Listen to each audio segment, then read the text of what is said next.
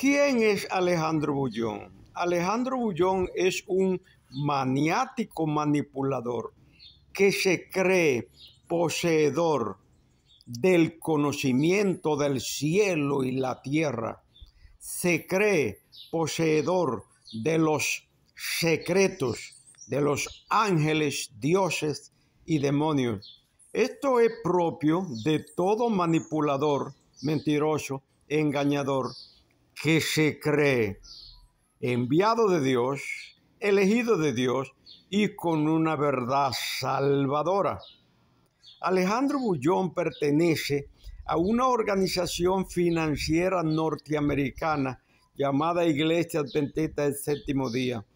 Después de 54 años estudiando profundamente a esta maldita septa, sé que tarde o temprano Alejandro Bullón tendrá que sentirse arrepentido de haber sido un maniático manipulador de una maldita organización financiera inescrupulosa norteamericana llamada la cochina Iglesia Adventista del Séptimo Día.